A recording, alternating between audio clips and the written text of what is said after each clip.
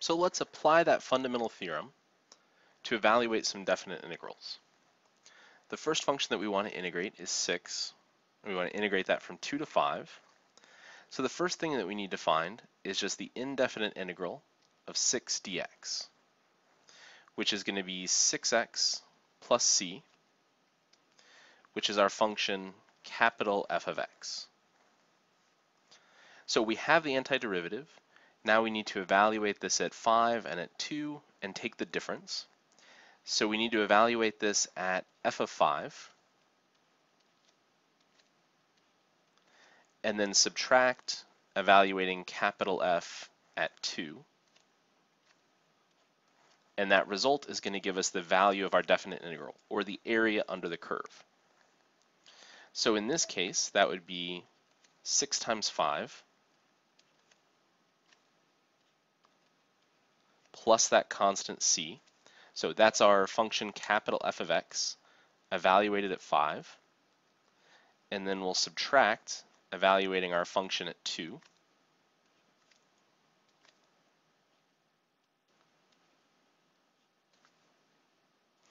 So what this is going to give us is 30 plus c, and then distributing the negative through here, we'll get minus 12 minus c. So what's going to happen is our c's are going to cancel, and that will happen each and every time.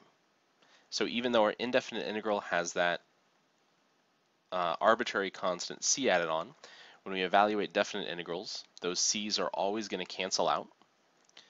In this case, leaving us with 30 minus 12, or 18, as the area under the curve evaluated from 2 to 5. So we can look at doing exactly the same thing with integrating 2x plus 7. So this is going to become 2 times x squared over 2 plus 7x. And that indefinite integral would have a plus c, but since those are always going to cancel out, we can just skip that step.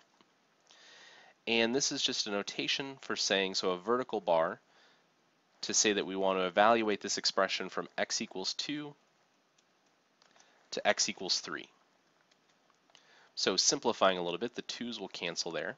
So we have x squared plus 7x, which we want to evaluate from x equals 2 to x equals 3.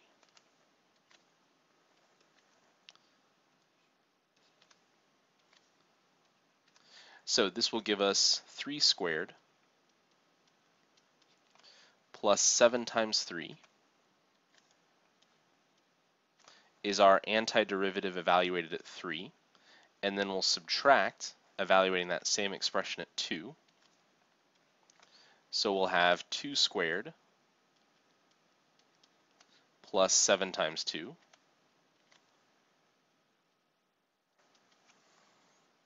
which will give us 9 plus 21, and then again distributing the negative through, minus 4 minus 14, or that area under the curve exactly equal to 12.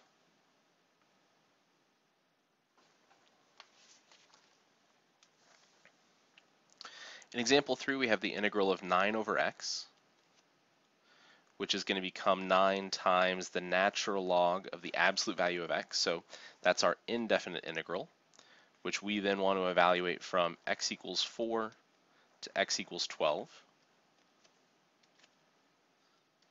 So this will be 9 times the natural log of the absolute value of 12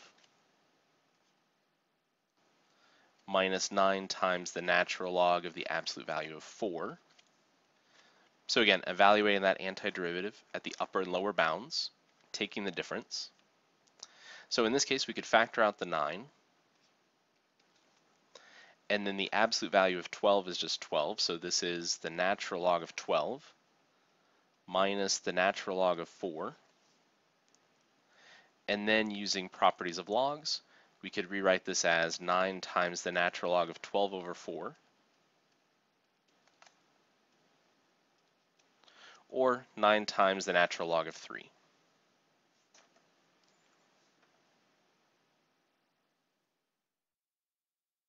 In example 4, we have a slightly different case.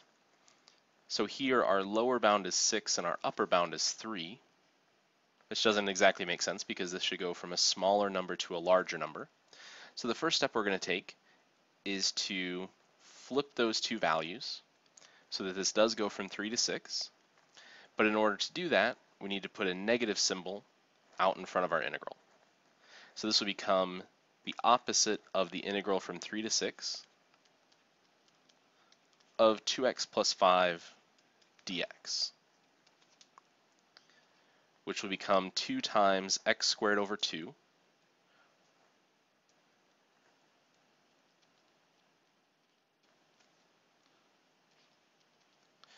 plus 5x. And actually, we need a negative out in front of that whole thing. Evaluated from x equals 3 to x equals 6. So our 2's here will cancel, which will leave us with negative 6 squared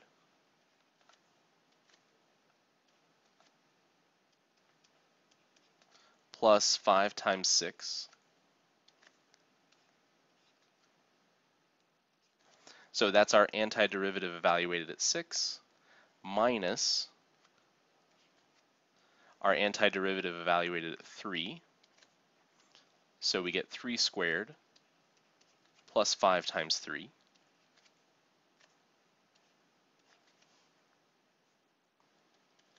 So distributing our negatives, and in the second term, the two negatives will cancel each other out. This is going to give us negative 6 squared, so negative 36 minus 30 plus 3 squared is 9 plus 5 times 3 is going to be 15 which gives us an area under the curve between those two bounds of negative 42.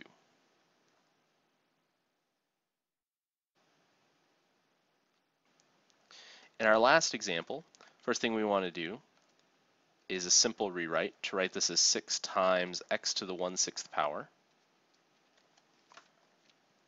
So integrating will give us 6x to the 7 sixths.